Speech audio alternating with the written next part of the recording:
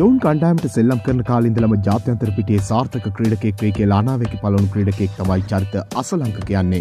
ඔහුගේ නායකත්ව ලක්ෂණ වගේ ඉවසීමක හොඳ ඉනින් ගොඩනගන්න පුළුවන් ක්‍රීඩකෙක් විදිහට තමයි අසලංකව විචාරකයෝ හැඳින්නුවේ. සනත් ජයසූරිය තේරීම් කමිටු සභාපතිකමෙන් නිවත් වෙලා කරපු මාධ්‍ය සාකච්ඡාවකදී පවා කියලා තිබුණේ අසලංක ජාතික කණ්ඩායමට අරගෙන ඉන්න හොඳ තත්ත්වයක දැන් ඉන්නවා කියලා. කොමුණත් ඊට පස්සයාපු අසන්ත මෙල්ගේ තේරීම් කමිටුව පස්සෙ පත්වනු ප්‍රමෝදයගේ තේරීම් කමිටුව අස්සලංක ජාතික කණ්ඩායමට අරගෙනෙනවා. අසලංකට ජාත්‍යන්තර එක්දින වරම් ලැබෙන්නේ ලෙහිසි පහසු තැනක නෙවෙයි නුහුරු නුපුරුදු එංගලන්තේ ලෝකශූර එංගලන්ත කණ්ඩායම හමුවේ තමයි අසලංක ජාතික කණ්ඩායමට එන්නේ හැබැයි ඉතින්දී මේ නවකයා සාර්ථක වෙන්නේ නැහැ. ඒ තරගාවලේ අසාර්ථකුණත් ශ්‍රී ලංකාවේ පවත්වන ඉන්දයා කණ්ඩායමක තරගාවලට අවස්ථාව උදාකරගන්න අසලංක ඉන්දයා කණ්ඩායම හමුවේ පරිණත ක්‍රීඩකෙක් විදියට සෙල්ලක් කරනවා. එංගලන්තේදී වගේම බංගලාදේශයේ දියුණු මැද පෙළ කඩාවැටීම නතර කරන්නත් ඉන්දියා කණ්ඩායමක පළවෙනි තරග දෙකේදීම මේ තරුණ ක්‍රීඩකයා සමත් වෙනවා. කොහොමුණත් ඔහුට සුපුරුදු අංක තුන ස්ථානය නෙවෙයි මේ ක්‍රීඩකයට ශ්‍රී ලංකා කණ්ඩායමේ ලැබෙන්නේ. ඒ ගැන ශ්‍රී ලංකා නායක දසුන් ශානක කියන්නේ මෙහෙම කතාවක්. චරිත අසලංක එංගලන්තේදී සෙල්ලම් කරනකොට ගොඩක් අයගෙන් චෝදනා ආවා එයා ජාතික කණ්ඩායමට තාම ගැලපෙන්නේ නැහැ කියලා. හැබැයි මම නායකයා විදිහට බැලුවේ එයාගේ ඉදිරිය ගැනත් බලලා කොහොමද චරිත් හැඩගස්සන්නේ කියලා.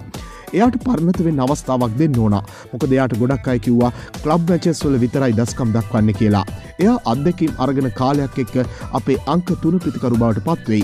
ඒවගේ මිත්තාම හොඳින් පන්දුවට පහර දෙනවා. එයාට වෙලාව අවශ්‍යයි හැඩගැහෙන්න. චරිත් ජාත්‍යන්තර පිටිය විශ්වාසය හදාගත්තට පස්සේ අපිට පුළුවන් එයා අංක තුන ක්‍රඩක විදිහට අරගෙනෙන්න.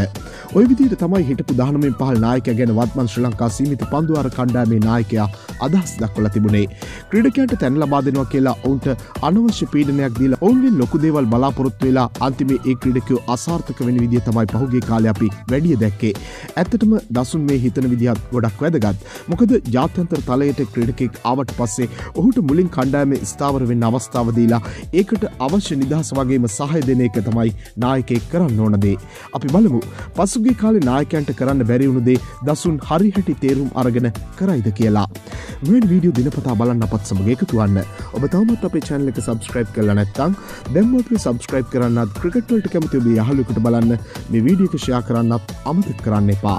ක්‍රිකට් පිඩිය නැවුම් දේ සපරි තවත් අලුත් වීඩියෝවකින් හමුවන තෙක් ක්‍රිකට් ලංකාවෙතින් ඔබට සුබ දවසක්